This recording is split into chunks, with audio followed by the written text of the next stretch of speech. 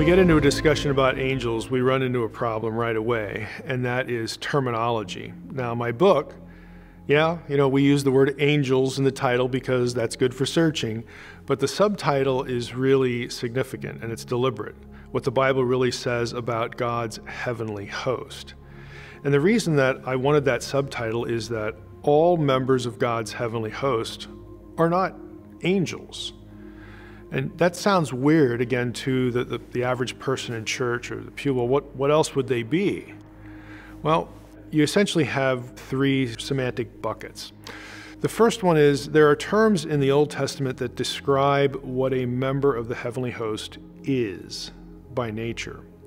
So this would be terminology like spirits. They're spiritual beings. They don't have bodies like we do. The second bucket would be terms that really deal with status and hierarchy, sort of where they fit in God's bureaucracy. Then you have a third bucket, and this is really where most of the terminology falls. Uh, these would be terms to describe function or role, essentially their job descriptions. Uh, angel actually belongs in this bucket because it's not what a member of the heavenly host is, even though that's the way we're used to using it, but angel is not what a thing is, it's what that member of the heavenly host does. Again, it's a job description. Uh, cherubim, you know, cherub, seraph, seraphim. It's the same kind of thing. That those terms are drawn from, respectively, uh, Akkadian or Babylonian, and uh, the other one is Egyptian.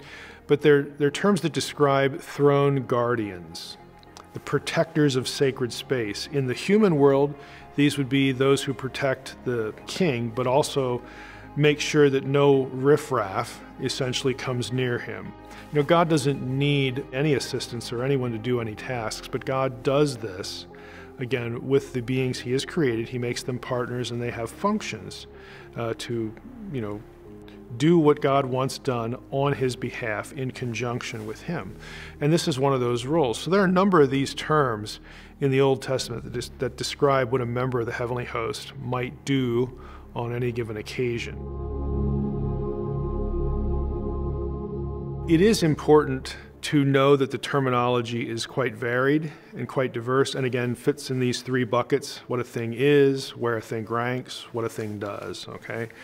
So that's important often because of the rebellions, because some of those terms, those, those members of the heavenly host that had a particular job, they're going to lose that job and then they're going to get something else. They're going to be referred to as something else, and that'll matter later on in the Bible in some passage.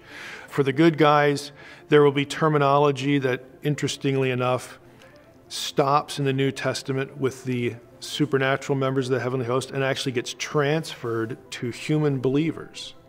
So it, it's kind of significant to pay attention to the vocabulary because it will help us get a, a fuller sense of something later on, especially when it comes to ourselves, again, how God looks at, at humans, because there's this symbiotic relationship between God's heavenly family and his heavenly partners and God's earthly family and his earthly partners. Those two things are connected in several ways by terminology. And it's often obscured in our English Bibles, and we sort of miss the theology that arises from that.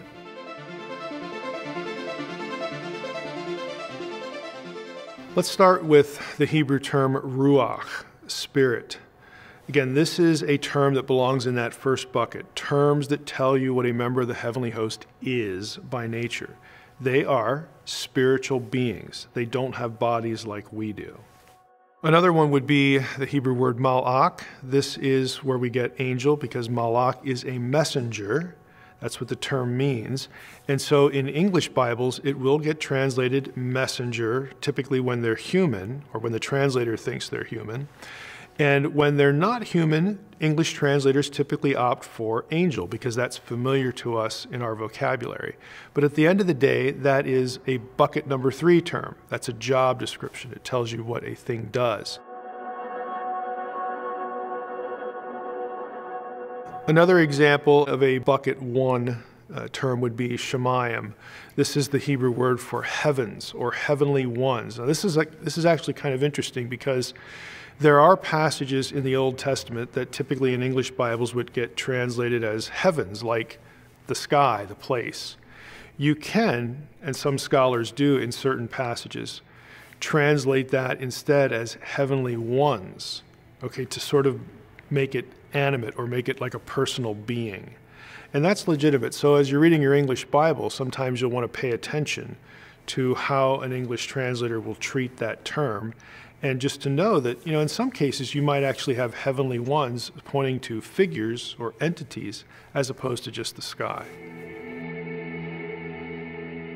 Job 38, 7 and 8 is an important passage because it's a pretty clear instance of using the way that Old Testament writers, and this, again, they're part of the ancient Near Eastern culture uh, generally, they would use the language of astronomy or celestial language, stellar language for members of the heavenly host. For instance, in, in Job 38, 7 and 8, we have the sons of God, again, heavenly beings of you know, considerable rank, also described as the stars of God. And this isn't the only place in Scripture this happens. And you say, well, why would, I mean, that's just kind of weird. We know that stars are balls of gas and, and, and things like that. Well, it, again, the, the passage isn't trying to undo science or do bad science. That isn't the point. The point is, again, that God up there in the heavens where God lives. And, again, we, we, imagine God living in the heavens for a number of reasons, a number of passages in the Bible. But God is up there, and so his servants, his spirit being servants, also are up there. And so to talk about them, biblical writers will use the analogy of stars and celestial objects in the sky. You know, they don't have telescopes, they don't have modern science. This is just a convenience a convenient way of talking about them up there with God who are in service to Him and sometimes are in service to us. There are passages that really take the, the astronomical language and sort of animate it or, or make the stars alive, you know, while they're doing so. I think the most familiar connection here is apocalyptic language you know, falling stars, stones of fire, you know, this, this cataclysmic like language. And we're prone to literalize that and say, oh, at the, the time of the end, you know, like the heavens are just going to like go, you know, freak out we're going to get asteroid storms here and stuff. That really isn't the point. The point is that in the end of time, God is going to judge the spiritual world as well as the earthly world. An ancient person, including, you know, Israelites, especially if they're not you know, sort of theological thinkers, just the average Joe, okay, the average Joe Benchmo or whatever, you know, Israelite. Yeah, it's very possible that they could look up in the skies, and especially when stars move or they see an object move, like a like a meteor or a comet. It's very possible they could look at that and without the, the scientific knowledge we have think, oh, that's alive because it moves. Living things move. And so they, they could you know, use the language and interpret the language of Scripture that way. It doesn't have to be interpreted that way, but that's entirely possible.